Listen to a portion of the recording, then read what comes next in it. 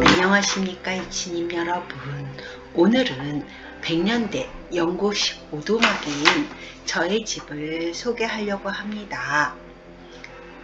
랜선으로나마 저희의 집을 같이 구경해 주시기 바랍니다.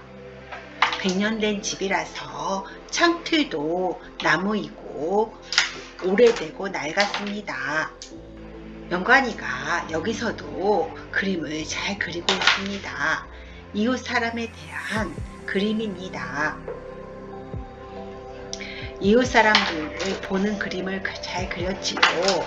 화단을 가꾸는 할머니의 모습입니다.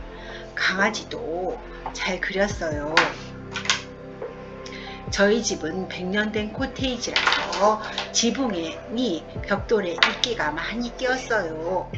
뉴질랜드의 집은 거의 담장이 없어서 이렇게 담장이 다 들여다 보인답니다.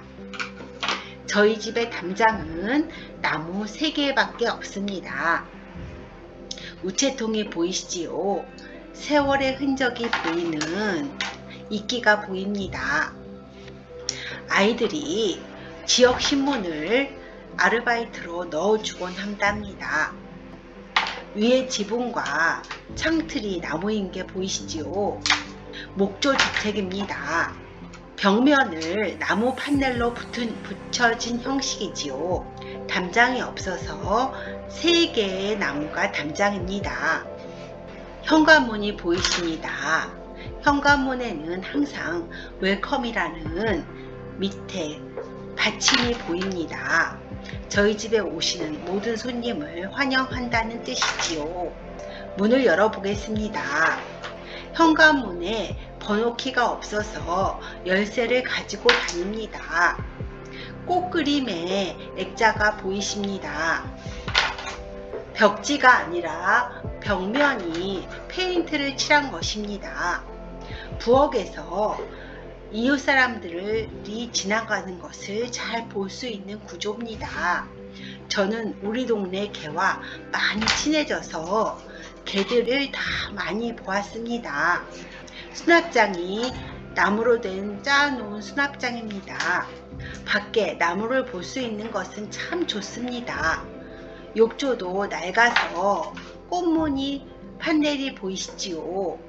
욕조가 좋은 것은 겨울을 대비한 난방시설이 있는 것은 참 좋습니다. 오래되어서 나무 틀이 보이시지요. 수도도 더우물과 찬물을 동시에 틀어야 하는 구조입니다. 밖에 자연은 참 좋습니다. 저희 집에 나무들이 잘 보이, 보고 계시지요. 저 멀리 바다도 보이네요. 뉴질랜드 팜출이라는 전통 종도 보입니다. 밑에 바닥을 비염에 안 좋은 카페트를 걷어내고 칠을 해서 사용하고 있습니다. 나무 바닥이 보입니다. 바깥에 팜추리가 보입니다.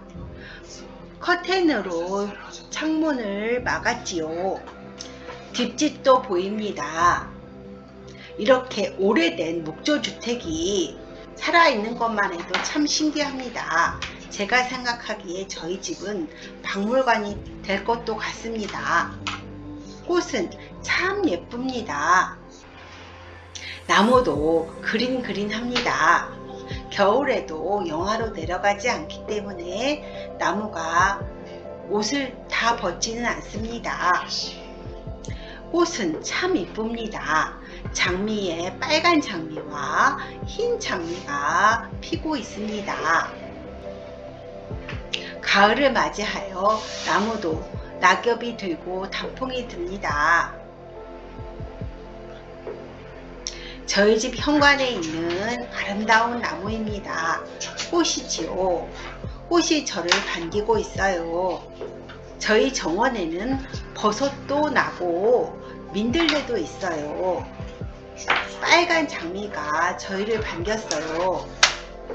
뒤에 정원을 아빠가 열심히 정리하고 있습니다. 빨래를 넣는 곳을 보이시지요? 빨래가 햇볕에 잘 마르고 있습니다. 정글 같았던 집이 조금씩 정돈이 되고 있습니다. 고사리도 보이십니다. 아빠의 손길이 정말 분주하지요. 뒷집으로 들어가는 단장이 정돈되어 있습니다. 정원에 민들레가 피어서 너무 반가웠어요.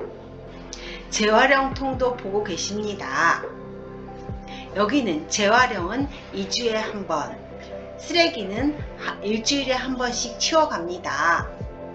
재활용통과 쓰레기통이 보고 계십니다. 창고로 들어가는 문입니다. 세탁실에 세탁기가 보이시지요? 한국 야채를 심을 화단도 정리해 놓았어요. 창고를 잘 정리하여 아빠가 열심히 사용하고 있습니다. 집을 수리할 많은 것들이 보이고 있습니다. 도구들을 많이 샀어요. 화단도 열심히 만들어 놓았습니다. 내년 봄이 되면 상추와 고추를 심어야 되겠지요. 창고에는 화단에 피- 필요한 많은 도구들이 보입니다. 집을 하기 위해서는 많은 장비들이 필요하지요.